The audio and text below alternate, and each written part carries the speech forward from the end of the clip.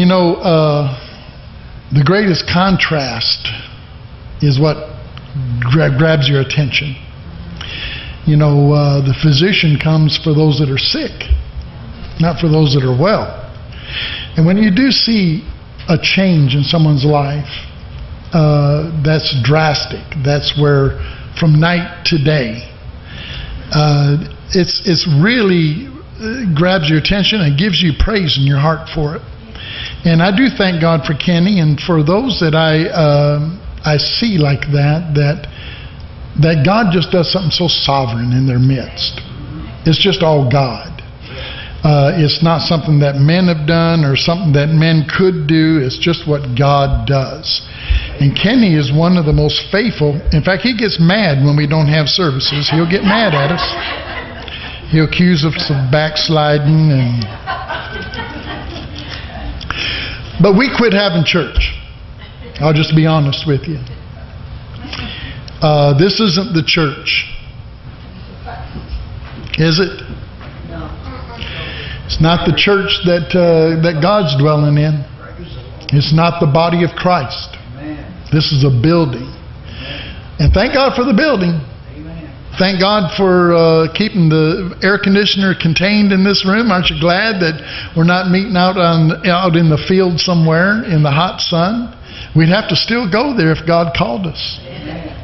But thank the Lord, we've got an air conditioned church. How many thank God for the air conditioned church building? But this isn't the church. The church is us, the people, the body of Christ. You're the expression of Him.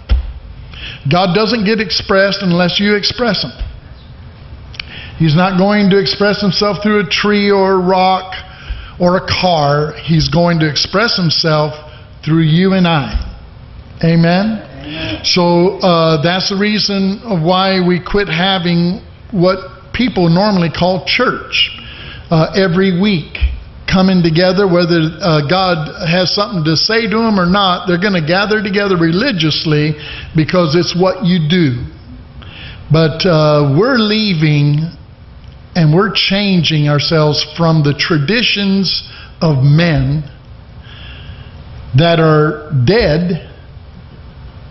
Amen. What men do has no life in it. It has a religiosity to it.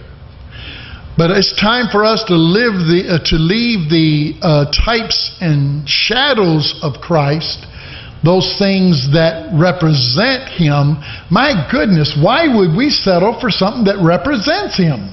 You know what I mean? Why would I uh, settle for an ambassador when I can have access to the King? And why would I settle for a tradition of forms and traditions and rituals when I can have Holy Communion with the living Christ? Hallelujah! And that's what I want. I want the living Christ. The one, the personal Jesus, the Christ. Did you know that Jesus is here? In this building, hallelujah, that we have gathered ourselves to, you brought him with you. Yes.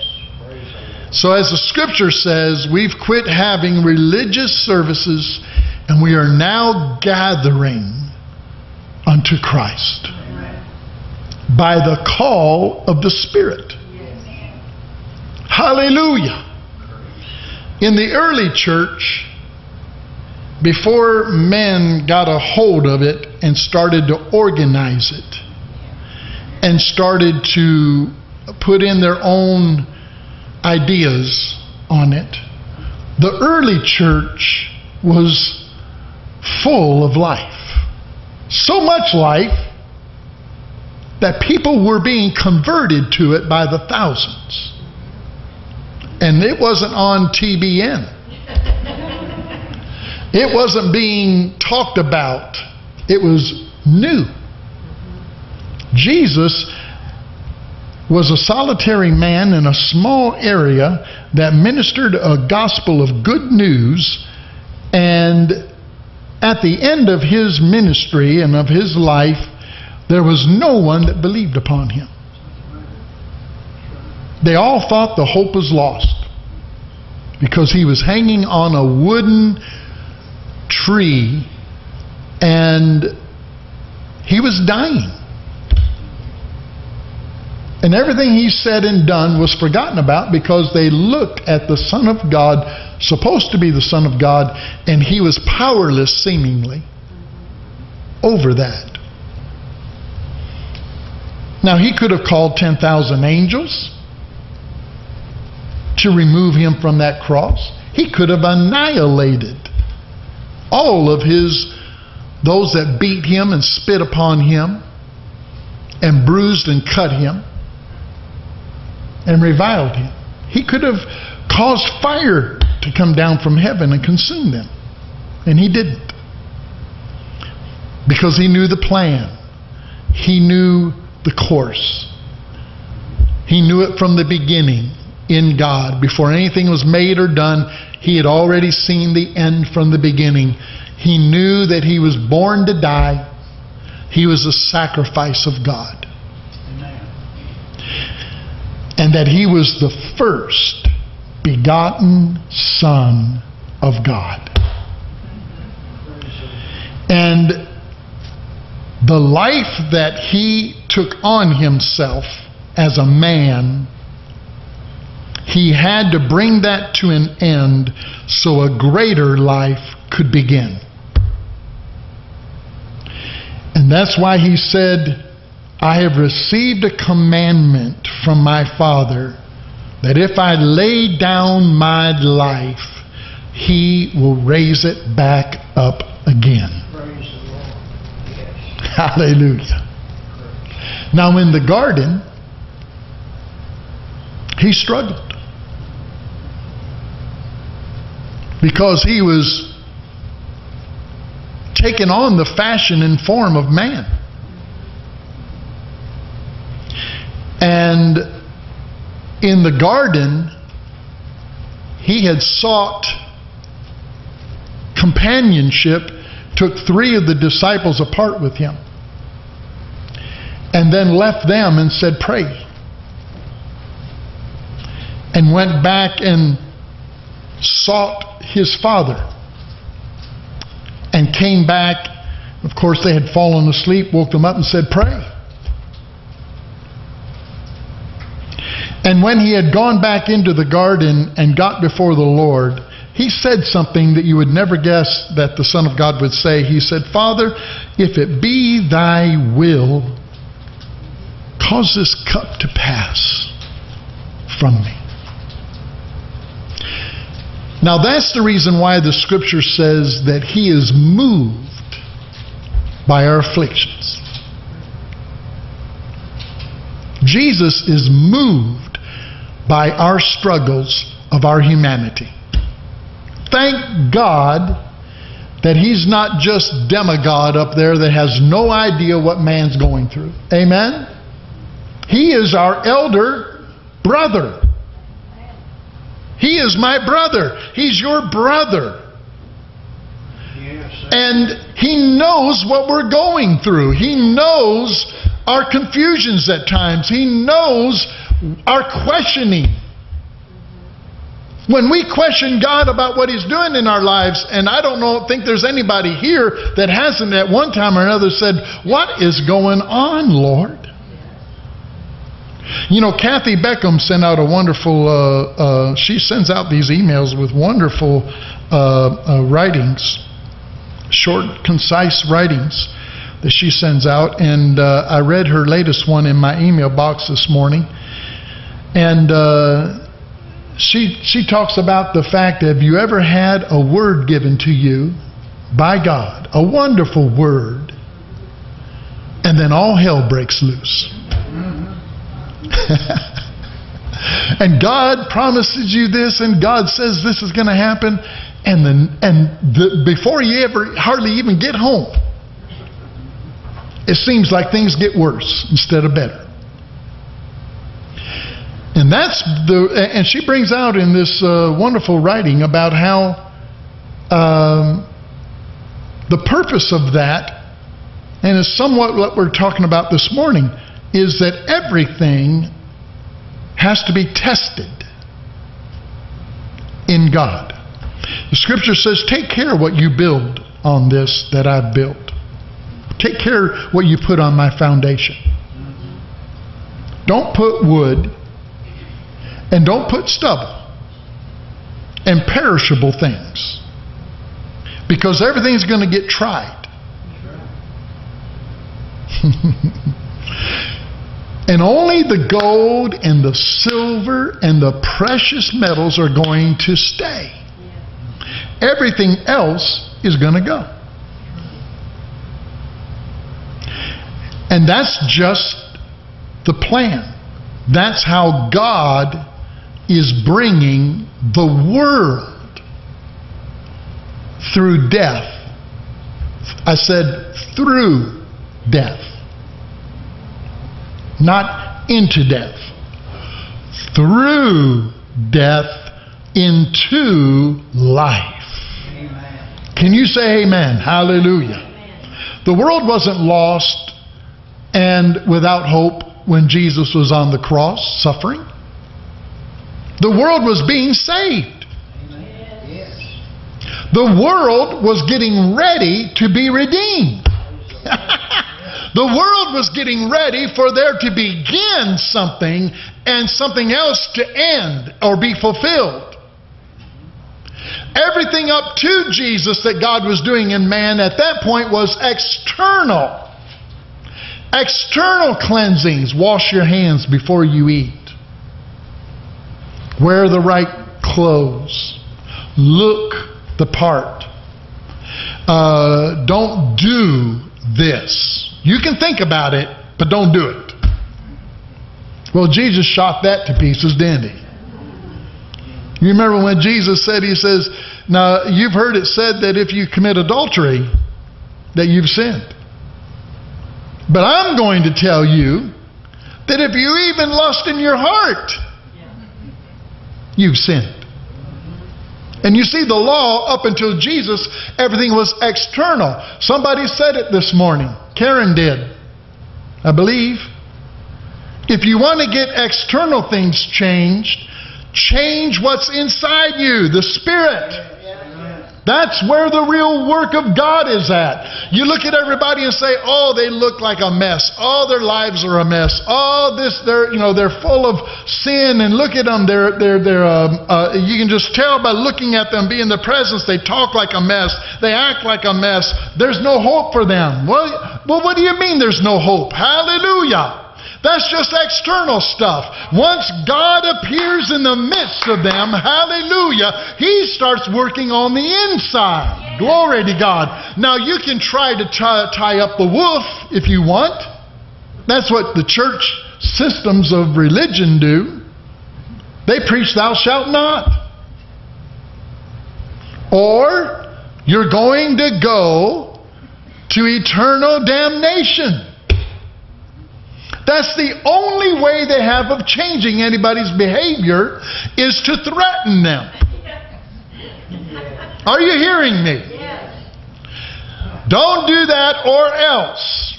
And you know how long that lasts?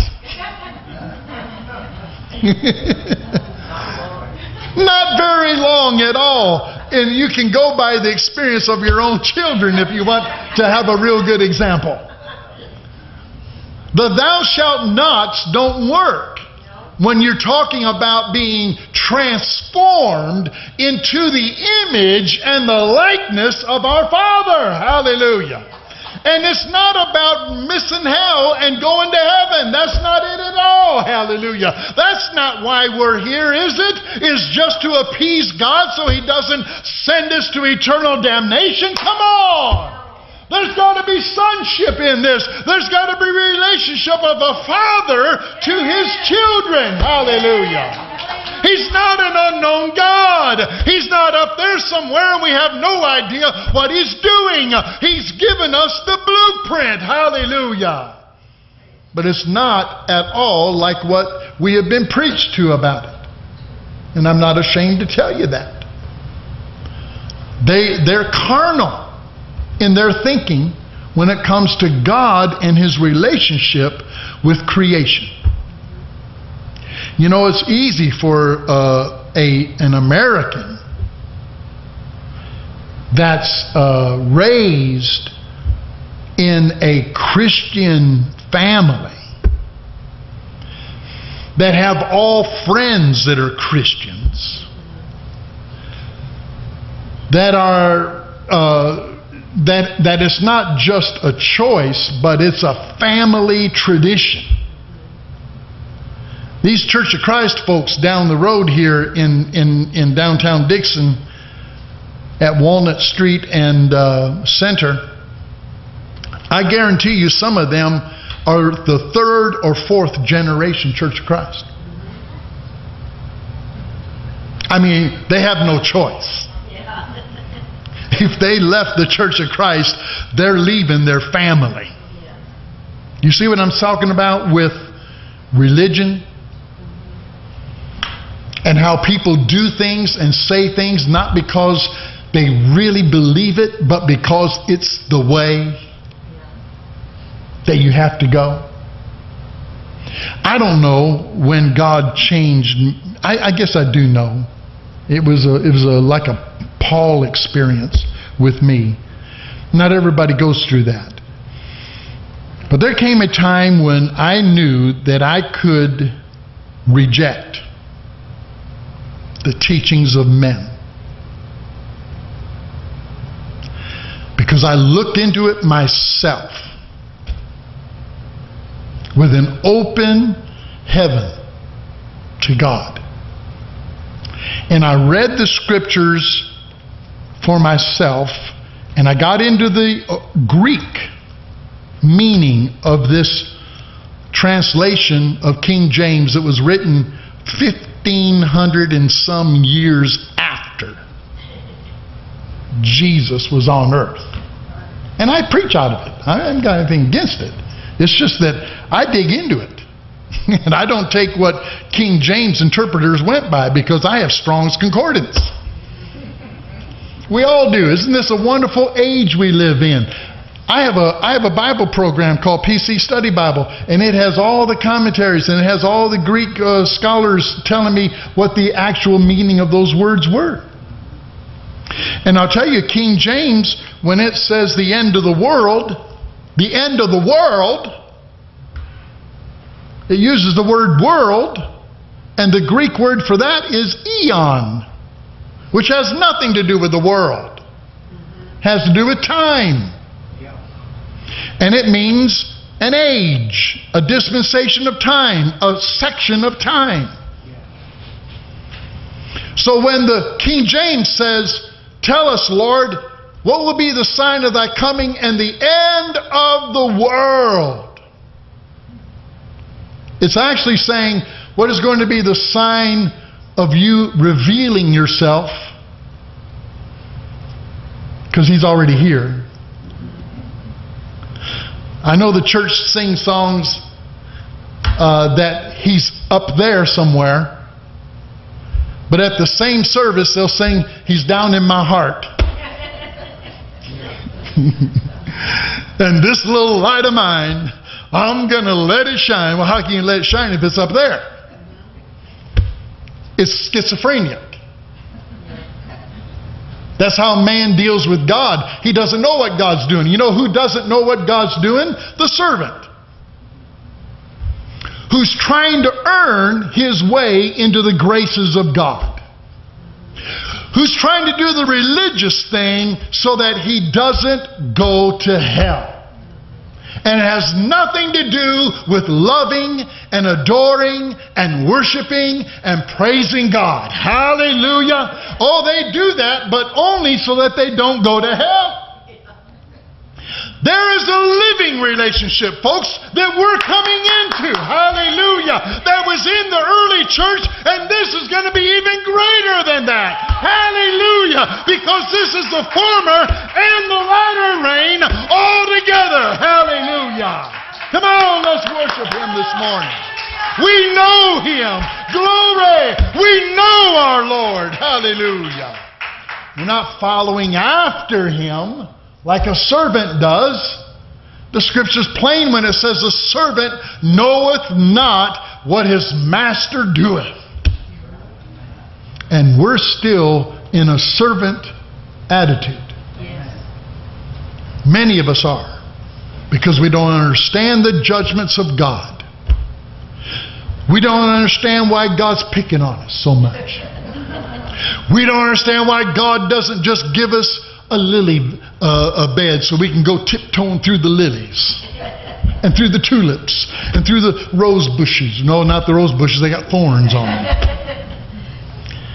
But that's all we want is, is heaven. And you don't get to heaven unless you go through hell.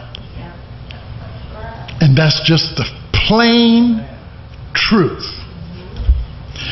This is mountaintop that I'm talking about. Mount Zion is situated in the tops of the whole mountain range. And it's the highest peak. It's, it's situated in the high places of God. And you don't get there unless you're willing to climb. It's not valley. And leave it to man, and he'll settle for valley every time. He'll take the easy road. You know why uh, Caleb and Joshua had a different spirit, right? Because when they went in with the other spies to spy out the land, the other spies came back and said, We can't do it. We can't take it. They got giants. They've got walled cities. It's formidable. It's impossible. It's too much trouble. And Joshua and Caleb came back and said, Hey, they're all waiting for us, man. It's laid open for us, it's clear path. Yeah. they said their, uh, their, uh, uh, their walls are all tore down. They weren't tore down, but they saw them as nothing. And they didn't pay any attention to those giants, so called giants. They were made small in their eyes because Caleb said, Lord, I have been uh, 80 some years waiting for my promise. Hallelujah. And I want that mountain that you promised me. Hallelujah. All these years, my eyes are still young and I can still see with my eyes, and the strength in my limbs have not waned. Hallelujah. And now, therefore, give me my mountain. Hallelujah. Hallelujah. Well, I'm telling you, there is a place that Jesus said, I go to prepare a place for you, that where I am, there you may be also. And that's where we're going, is into that place in Him. Hallelujah. Come hell or high water, come fire, come testing, come trial, we are going into the throne room of God. Why? Because out of that throne room is going to come a word that's going to set the nations free. It's going to topple kingdoms of men and it's going to establish and make the kingdoms of this world the kingdoms of our Lord. Hallelujah. It is going to pull down every stronghold. It's going to pull down cancer. It's going to pull down a, a depression. It's going to pull down Alzheimer's. It's going to pull down addictions. It's going to pull down every disease known to man out of the word of that throne room, out of a people who have gone through the hell, gone through the fire, climbed the mountain of God. There's a word in them that's going to be released. Hallelujah. Hallelujah. And they're going to give their life for it. These are those who, have, who are called with the same calling that Jesus was called with. Now, think about that. Even as my Father has brought me into this world, so has He brought you into this world. With the same purpose. You were born to die. Yes, you were. But that doesn't mean that you're going to have to die in a grave. There is another death. The grave isn't even death. That's not even what, what the scripture means by death. The grave is just a point of transfer, of the laying down of a biological house. That Second Corinthians, the fifth chapter says, if that house were to be dissolved, you have another house inside that house. Hallelujah. And you don't die in that in that death. That's your body. That's the only thing that dies when you lay your body down is your body. Hallelujah. But you don't die. Hallelujah. You live because he lived. You live. Hallelujah. Now there's going to be a people according to the scripture that are not going to die but they're going to be changed. Changed. Turn with me to 1 Corinthians 15.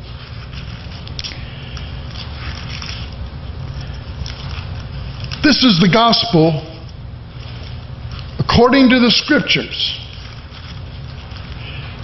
that God has a plan to bring creation out of darkness, out of corruption, out of mortality, into incorruption and immortality. Hallelujah. And I said the last time that we taught on this heaven and hell, if you want to keep thinking of that as a location somewhere, you can. But I'm telling you, that's not the actual truth of the matter. Hell and heaven are states of being. I'm in heaven right now in Christ. I'm in heavenly places in Jesus Christ. I've also been in hell. I'll give you a word what hell means in the King James. And how many know that the English words that we use every day that they came from England, right? it's the uh, King's English. And in the uh, 1500s and so when the scriptures was written, they had different usages of English words that have changed over the centuries, changed their meanings. And that's common. Uh, that's, a, that's just a common fact with linguistics, is the fact that English, the word remained, but the meaning for it changed. And hell is one of those words.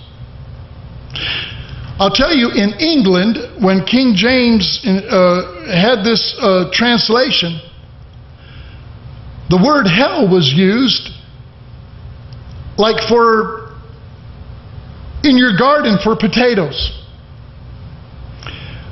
You would say to your wife or somebody, I'm going to go out in the garden, I'm going to hell some potatoes. I'm going to go out and I'm going to hell us some potatoes. And what that was actually meaning was to dig up some, to bring them out, to unearth it and bring it up. It was called helling. Now, we've talked about the many words for hell in the scriptures, that there's more than just one Greek word as there was for eon.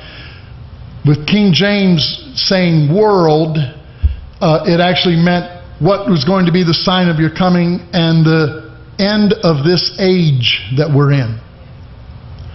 So for us to take that and everything that follows there in Matthew 24 is where that's found out, found at, and for us to translate that and say, okay, that's what's going to happen at the end of the world, is actually not what was stated there. But you'd have to dig into the Greek to find that out. Same way with hell. Hell is a singular English word that's used for three different Greek words.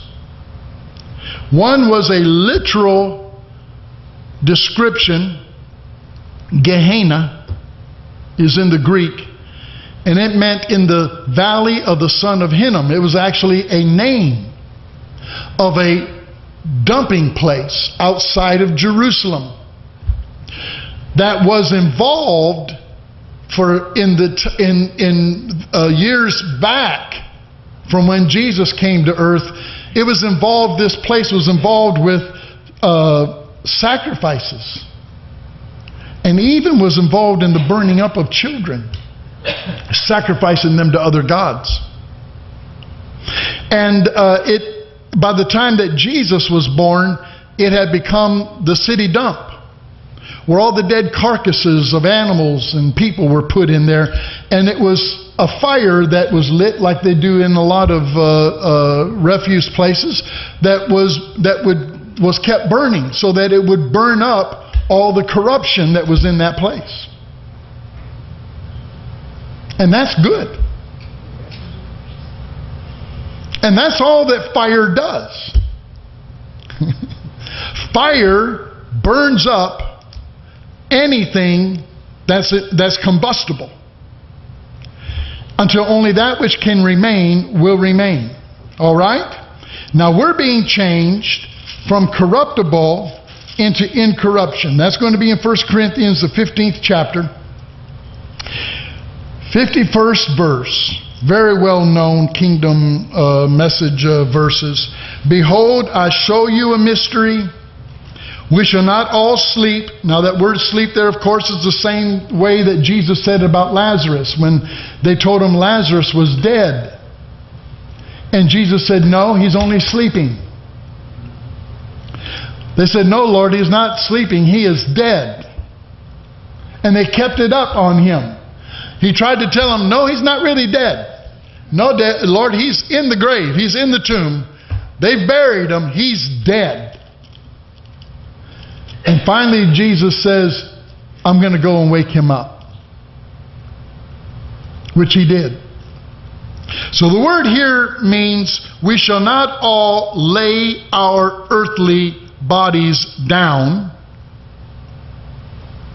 Behold, I show you a mystery. We shall not all lay these earthly bodies down, but we shall all be changed, including those that have laid their bodies down. Is that right? It said that, didn't it? Behold, we shall not all sleep, but we shall all be changed. I thank God that my father, my mother, that all of my friends that I used to have that never knew the Lord in this life, I thank God that I have a promise from God that at death it does not leave them hopeless. Hallelujah. But all shall be changed. Why do I believe that? Why do I know that? Because that's all that fire does is change. Hallelujah. In a moment, in the twinkling of an eye, at the last trump, for the trumpet shall sound, and the dead shall be raised incorruptible, and we shall be changed. For this corruptible must put on incorruption, and this mortal must put on immortality. So when this corruptible shall have put on incorruption, and this mortal shall have put on immortality, then shall be brought to pass the saying that is written, Death is swallowed up in victory. O death, where is thy sting? O grave, where is thy victory? Well, there is none because that's not, hallelujah, what's going to, uh, uh what the final enemy that Jesus is putting under our feet is. It's not the grave, it's death itself. It's the death that works in us even now. Hallelujah. But is being overcome by the victory that, G- that Charlotte sang about this morning. I didn't come here to talk about some far off place called heaven. I've come here to be awakened.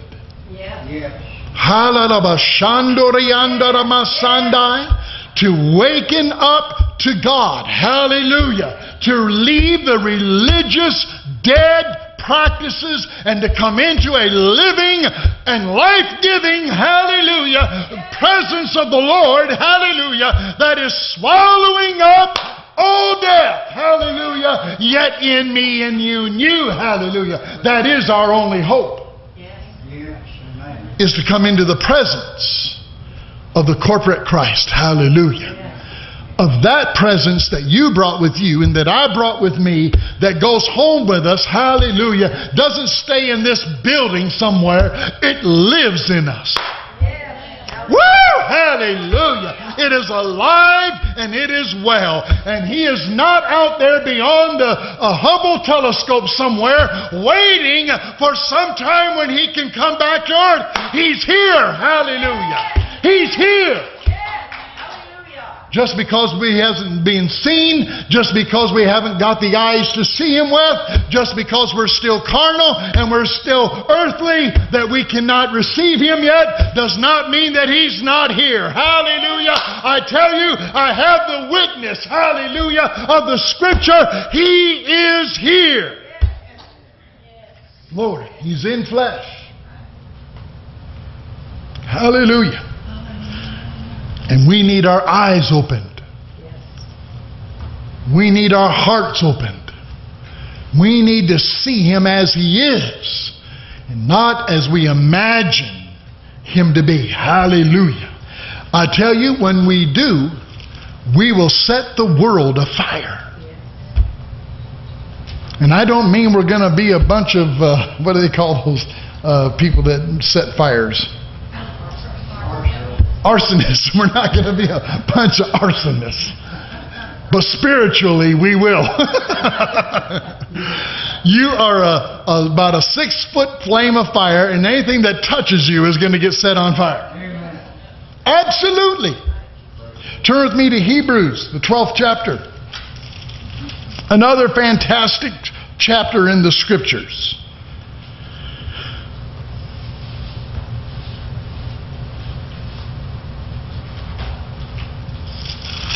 And let's go to the 11th chapter just above it. And these all in the 1139, and this is the faith chapter, as everybody has come to know it. Talks about all of those that has by faith done exploits and had God miraculously move in their lives. It uplifts you every time you read it. We can all identify with the 11th chapter. Amen. Although we haven't a one of us been eaten by a lion yet. But when I read about it, I understand what that means for me. Amen? Yes. I have lions in my life. I surely do. That are trying to devour me, devour my faith, devour my uh, uh, love, devour my patience. And God delivered them, and He's delivering us. You can read it all famine, pestilence, all that that they came through. Hallelujah. And we don't have to go through those literally. We look at that and say, Amen, Lord, you're going to bring me through my famine for your presence. Hallelujah. Even though you have uh, hidden yourself from me for a little while. Hallelujah. I will see you and live. Hallelujah. Amen. Gloria Morris wrote that beautiful song, I would have despaired had I not believed that I'd see the goodness, I'd see the goodness of my Lord. Amen. That is what we are going through every day, but that's in the scriptures. And we take that 11th chapter and we apply that to our lives. Everybody does. But boy, when you start looking at things like heaven and hell in the same way, and understand that Jesus was talking about something way beyond what the church has settled for. That hell is actually the rehabilitation of humanity. It's not like our incarcerations of our prisons. You know what we're doing? We're just imprisoning people and making them worse. They're learning new and improved ways to become worse criminals. There's no rehabilitation to our prisons now. It's just a place to take them and get them out of society until some judge says we can't afford them anymore, so we're going to let them out on the streets again. And we let them out by sending them to a school for criminals. And they learn how to break in better, they learn how to get past the law better, and that's our prison system. But God's way is much better than our way. Amen? And hell, the state and condition of hell is rehabilitative. It stops you and it makes you take inventory. Hallelujah. And it burns up what is making us do the things we're doing. That's what I'm looking for is not just a change of mind, it's a change of nature. Like I said, you can tie up the wolf, and the wolf will just be waiting until he gets loose from that chain. And he'll still be the wolf. And that's what people think God's doing. They're taking the sinners and he's chaining them up in hell because there's nothing he can do with them. They're just too much for them. And literally, that is how they're preaching the judgments of God. But the Bible tells me that the wolf and the lamb will lie down together. Hallelujah. It tells me this also that the lion and the bullock will be at peace with one another. And that the lion is going to eat grass just like the bullock. And I tell you, there's no mention of a big old chain around their neck. They have been changed. Oh, hallelujah. Hallelujah. I thank God that I'm not going to be struggling forever with a fleshly mind. Through eternity, having to ask God not to look at it. Or worried about some revolt somewhere in heaven because we weren't totally changed somehow. I thank God that my human nature is laying down with the God nature and it is eating of the same things as the God nature is. Hallelujah. Hallelujah. I'm, I'm, not talking about somebody that learns church doctrine and then changes their outward expression of life, but goes home and beats their wife behind closed doors or molests their children or all the other things that happens in the church realm today.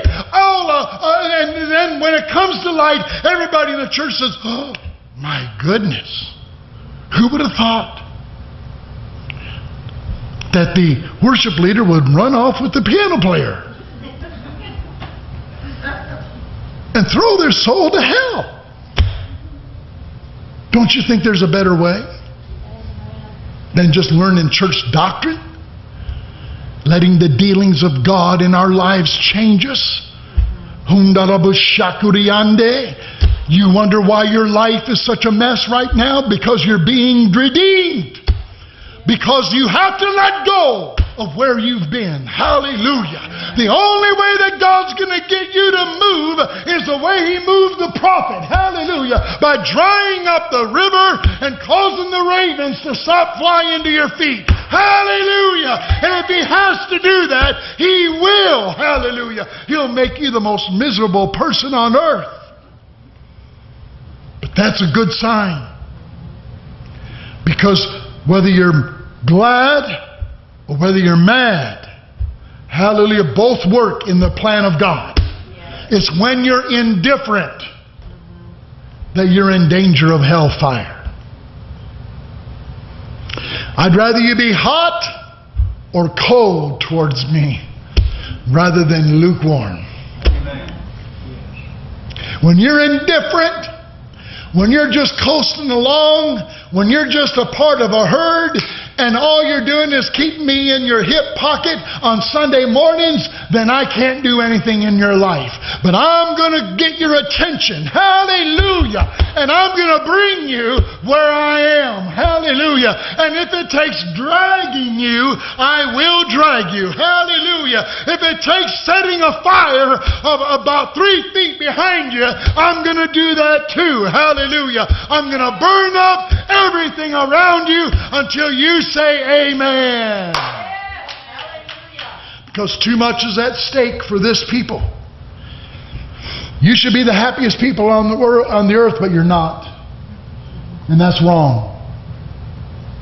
We should be dancing all over this building right now because the king is here. The message of the kingdom has become, for most of the people in the message uh, of kingdom, it is becoming the same thing as the message of the doctrines of the church now. We preach it real good, we talk about it, we sing about it just like they do, but we're not even participating in the glory of it. How many is ready for that to change? Yes, yes. Are you ready to sing a new song? Are you ready to praise God not with your lips and tongue only, but with all of your heart and all of your soul and all of your mind, everything within you, singing praise unto God, for His mercies endure forever and ever. Are you ready to throw away everything that's causing you trouble? Are you ready to lay down your ministry? Are you ready to lay down your former relationships? Are you ready to know God anew? Hallelujah. In a way that you've never known Him before. I'm ready. Hallelujah. I believe we're there. Hallelujah. And it can't happen here. It's got to happen when you leave the building. It's got to happen at your house. It's got to happen when you lay down in your bed. It's got to happen when you go to work. It's got to happen from this point on. Hallelujah. You have to know He has come and He has filled you with the joy and the peace that passes all understanding. Hallelujah. That He is revealing Himself to us now. Hebrews 11 39 says, And these all, these witnesses, having obtained a good report, having had witness borne to them through faith, received not the promise. Wow. God having provided some better thing for us, that they without us should not be made perfect or complete. Remember now, in the Greek, perfection does not mean sinless. It means complete. All your parts together. Complete. Hallelujah. Be ye perfect, even as I am perfect, says the Lord. Be you complete in me, even as I am complete in you. Hallelujah. I in you, you in me, we in Him. Amen. Hallelujah. Everything in oneness. Everything together at the same mind, the same purpose, the same calling. Hallelujah. If you can't see yourself as one of those of the first fruit company of Jesus, if you think that you're just another servant following after Him, I pray that God will waken you up. Hallelujah. That your eyes will be open. That you'll quit being just a preacher of God and that you'll start being the mirror, the glass that shows forth His likeness. Can you say amen? Come on, preach with me a little bit here. Preach with me. Don't make me preach at you. Preach with me. Hallelujah. Let's minister Christ. Hallelujah.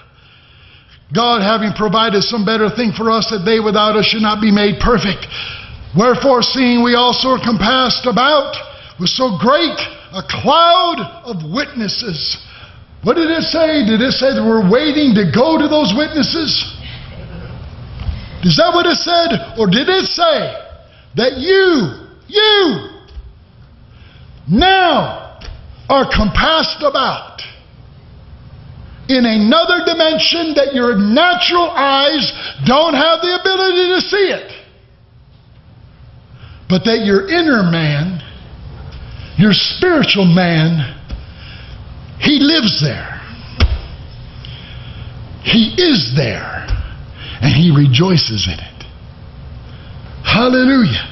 Compassed about with such a great cloud of witnesses, let us lay aside every weight and the sin which does so easily beset us, and let us run with patience the race that is set before us, looking unto Jesus, the author and finisher, this says perfecter of our faith, who for the joy that was set before him endured the cross, despising the shame, and is set down at the right hand of the throne of God. Can you despise, hallelujah, all the shame goes along with you being different? I'm different, man. I'm an alien. I preached a message about aliens. And I'm not talking about Martians or those little green men or those alien creatures that you see on TV. I'm talking about I am alien to this world system of corruption, and so are you. I come from God.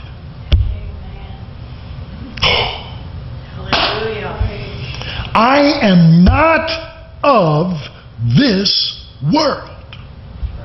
Can you say that? Why can we say that? It's recorded. That's what Jesus said. You're in the world, but you're not of it. This world can be set on fire of hell. You're not of it. Hallelujah.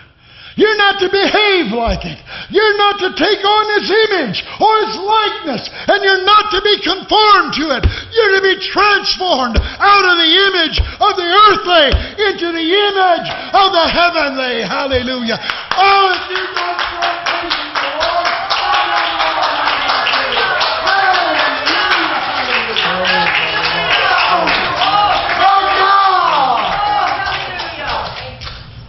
I'm telling you the truth.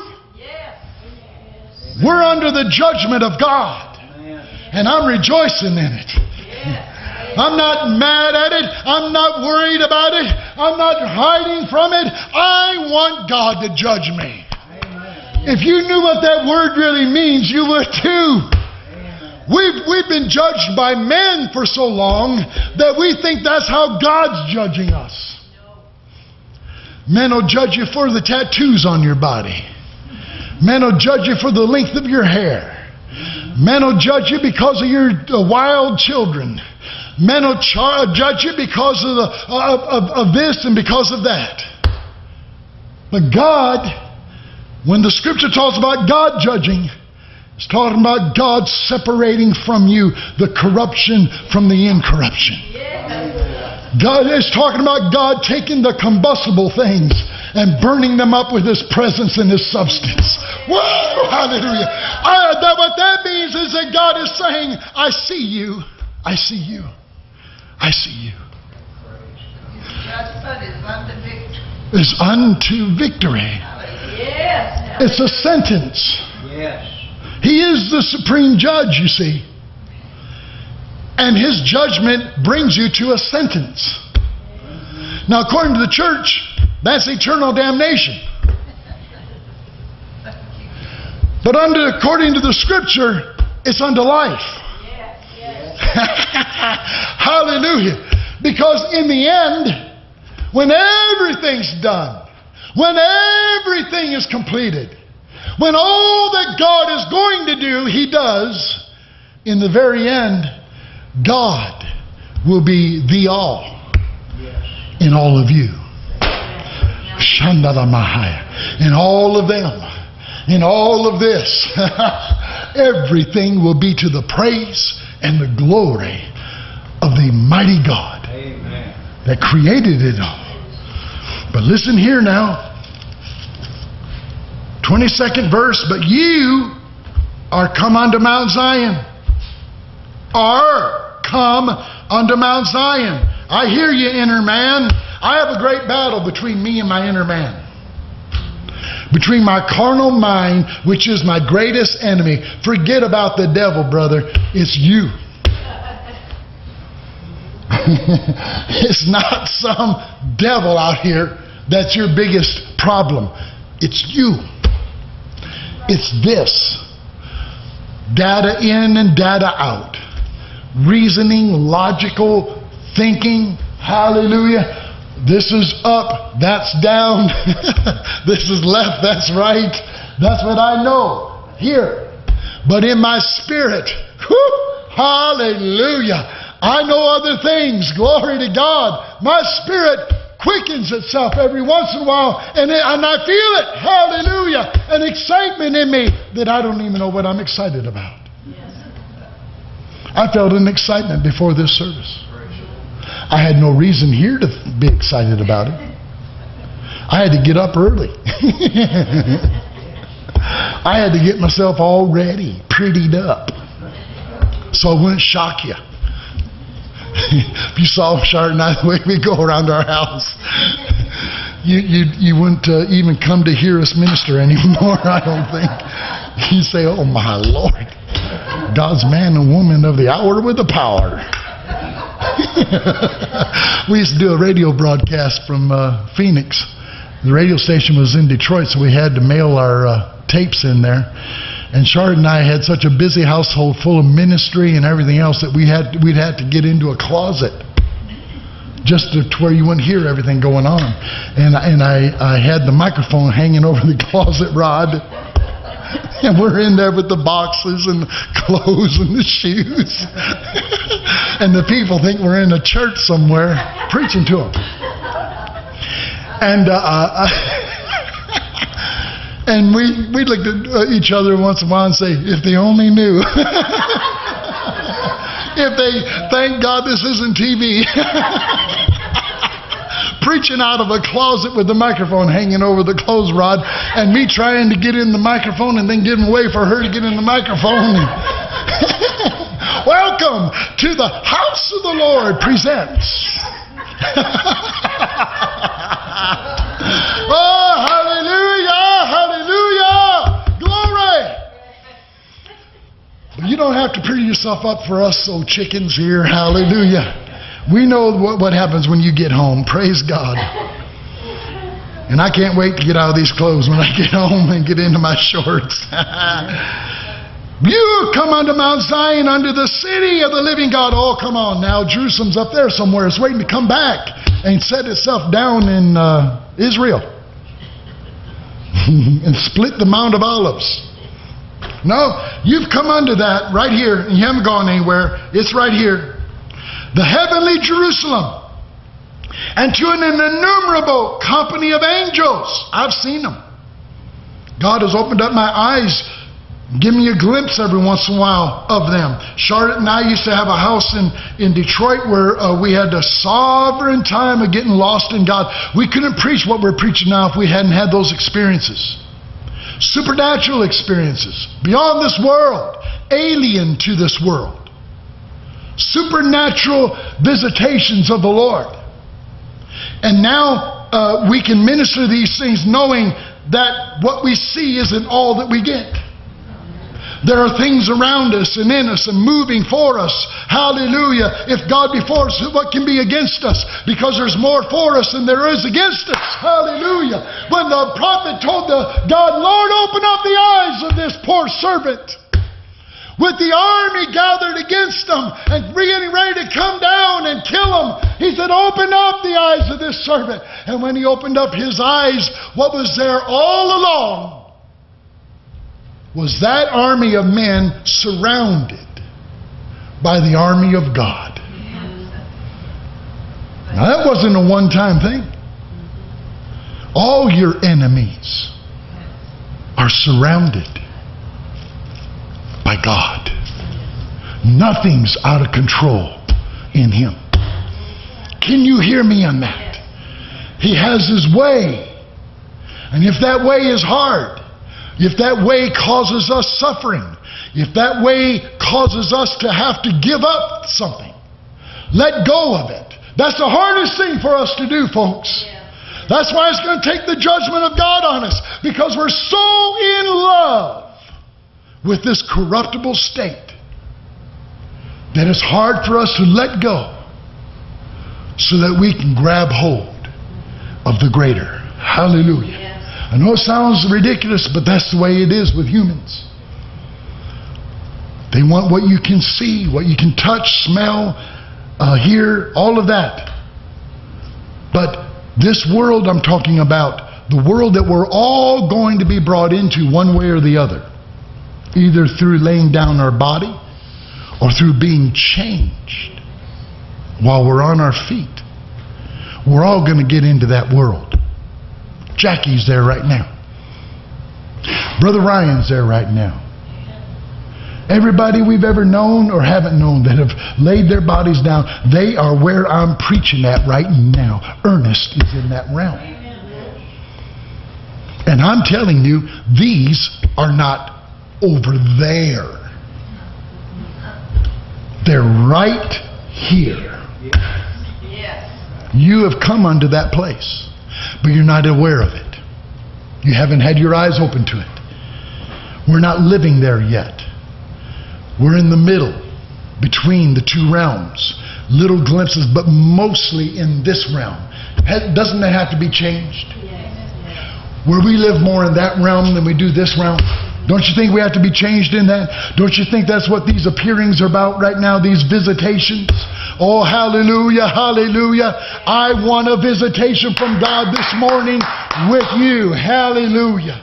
Let me finish this and I'll quit to an innumerable company of angels, to the general assembly and church of the firstborn, which are written, who are enrolled in heaven, and to God the judge of all, and to the spirits of just men made perfect or complete, and to Jesus, the mediator of the new covenant, and to the blood of sprinkling that speaketh better things than that of Abel. That's what we've all come to. In the 26th verse, whose voice then shook the earth, but now he hath promised, saying, Yet once more I shake not the earth only, but also heaven.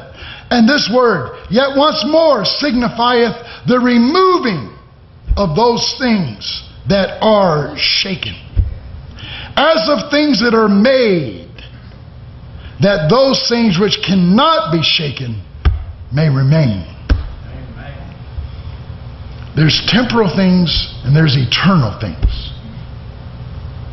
Paul said, looking, we look no longer at those things which are seen, but we look into those things that are unseen. Amen. That's what I'm preaching this morning. How many want God to open up your eyes to those things that are unseen? Father, I pray in Jesus' name in Jesus' name. Open every eye in this place, O Lord. By your sweet spirit, Lord, may you take the scales off of these eyes, O God, that we might see clearly now. Hallelujah. No longer through a glass darkly, no longer through the murkiness of our carnal mind. Oh, quicken us, Lord, with the quickening of your spirit and release us from our bad vision, Lord, from the temporalness of our vision, Lord. Let us look into eternal things. Hallelujah. Oh. Open up your heaven to us, Lord. Open up the realm of the Spirit to us, Lord. Let us not be satisfied with this place that we have been in, Lord. Oh, God, bring us out and bring us in. Hallelujah.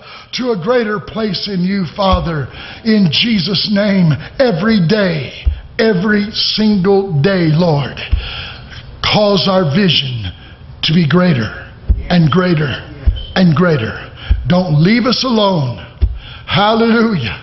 Don't give Jerusalem any rest until she is made a praise in all of the earth, Lord. I thank you for the place you're bringing us to. Lord, let us no longer be dragged by you. Let us start to walk in you as a son of God. Hallelujah. And everybody said, Amen. Praise the Lord. Amen.